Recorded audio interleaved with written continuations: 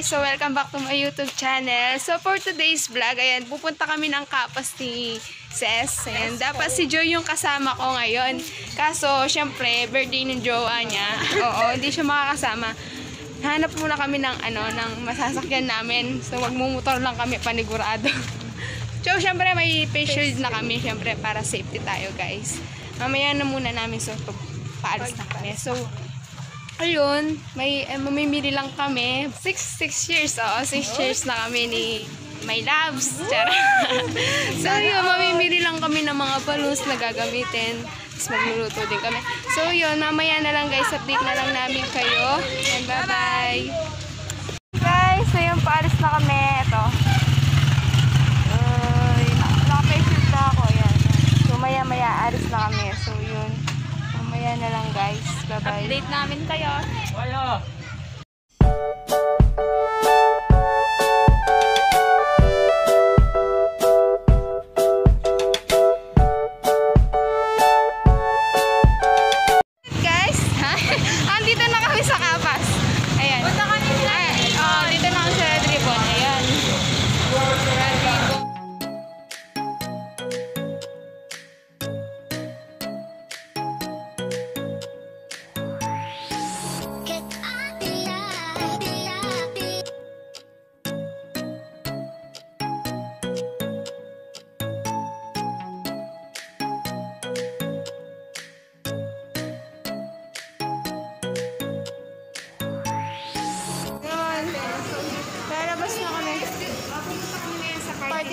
Push. Parang ayoko nang lumabas dito. Sarap na nga niya. Sarap ng aircon. Grabe. Yung hindi ka man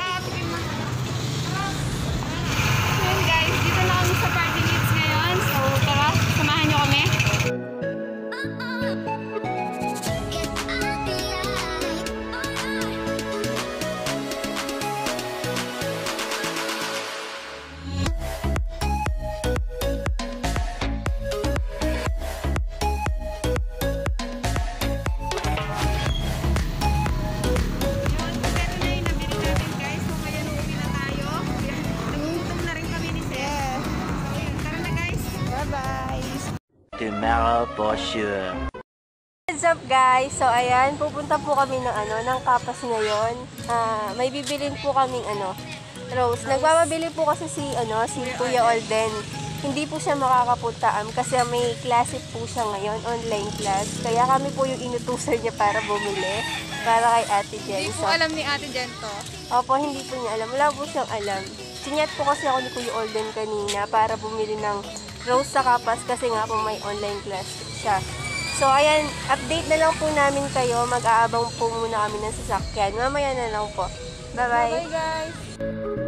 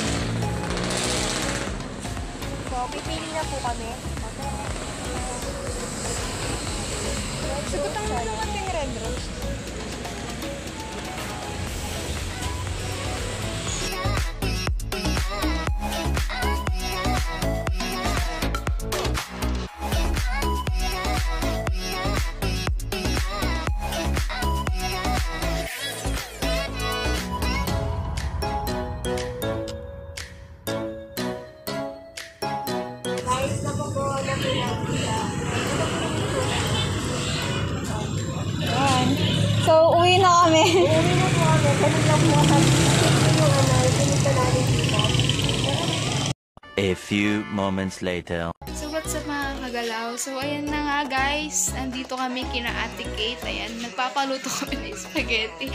Sorry, kasi hindi kami talaga marunong magluto. So, masarap kasi spaghetti niya. So, eto, nagpaluto na kami. Ayan, so, ayan, pwede na. Ayan yung mga ingredients. Oo, yung mga ingredients. Medyo mag- magulo lang guys, magulo. Ito yung pasta, guys. Ito na yung pasta.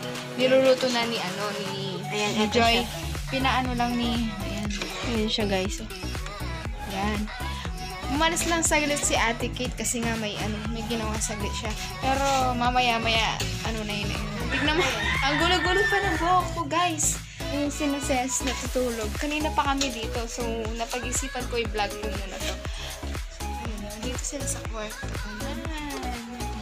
Hello. Ayun.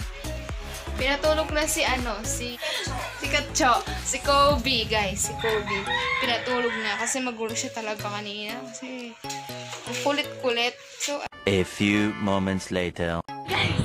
eto na, papunta na kami sa church. Grabe, ang bigat ng spaghetti. Ayan guys, oh. Madami kasi siya guys. Oo, natatanggap yung foil. Ito, oh. Ang bigat kasi niya. Wala na. Lalo na Ang dami kasi namin dala guys, oh. Ito pa yung cake.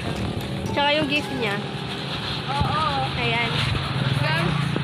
So, ayan, malapit na kami sa church guys. Malapit na kami. Grabe, inihingal ako doon sa spaghetti na to. Nakakahingal. Tingnan mo kaya, ang laki-laki kaya nito. Tapos ang dami pa laman. Oo. Ay, nakakapagod. Ay, nakalagay doon sa cake. Bawal kainin pag itang dyan. Asan ba? Ah, eto, eto. Nakasulat. Ba, so ayan, kami Ayan, pa lang malapit ata na yung kami. tao dito sa church. Wala pa yung iba. Oo. Mag-decorate muna kami, guys. Oo. Talaga naman kaya tao. So ayan, nakakahingal talaga guys. Oh. So ayan, update na lang namin kayo guys. Bye guys! Ayan, nandito na kami sa church. Ah. so ayan, mag-decorate muna kami. Okay, kasama na kami sina J-Rose, Jesse. Dito, okay kayo, okay kayo, okay kayo. Party, party! Ayan! So, yun. Yun sila makakasama namin ngayon. Kulang pa kami guys. Kulang pa kami. Ayan guys. Yan.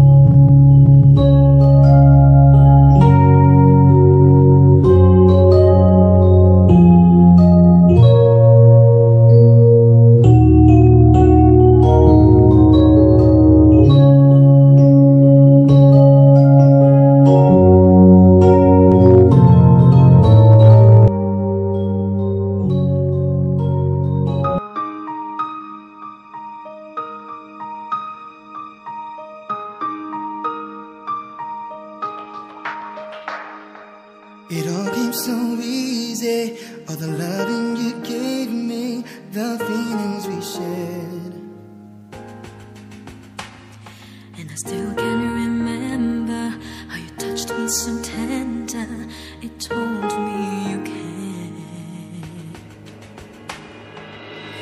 We had a once in a lifetime, but I just couldn't see until it was gone.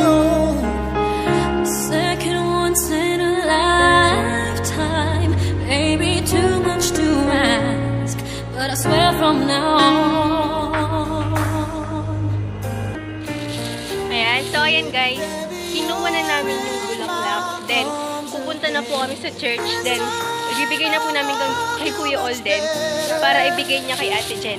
So, walang kaalam-alam si Ate Jen dito. Ayan yung, ayan yung bouquet. So, ayan.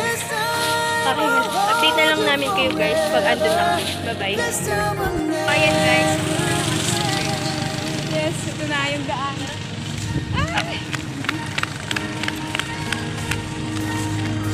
Ayan guys, ang ganda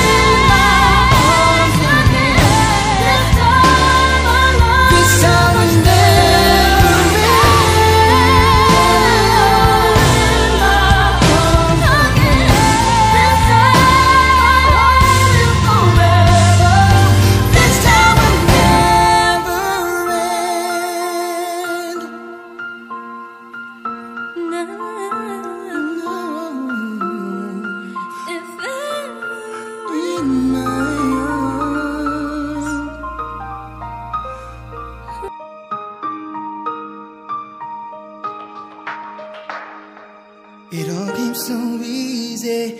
All the loving you gave me, the feelings we shared. And I still can remember how you touched me so tender. It told me you cared. We had a once in a lifetime, but I just couldn't see until it was gone.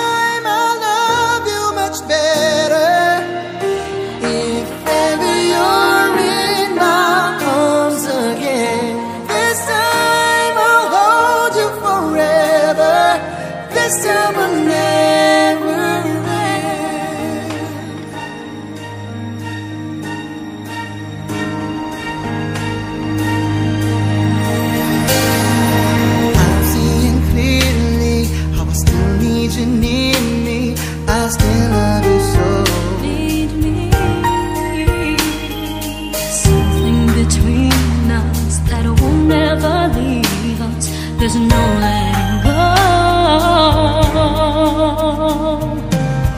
We once in a lifetime, but I just didn't know it till my life fell apart. A second once in a lifetime, is it too much to I swear from the heart.